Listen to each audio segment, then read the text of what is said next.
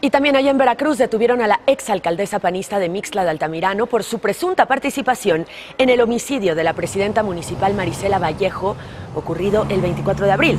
El esposo de María Angélica N. está recluido en el penal de Songolica por el mismo caso.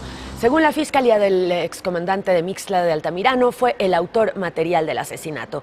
Primitivo Isla se suicidó el 12 de agosto cuando iba a ser capturado.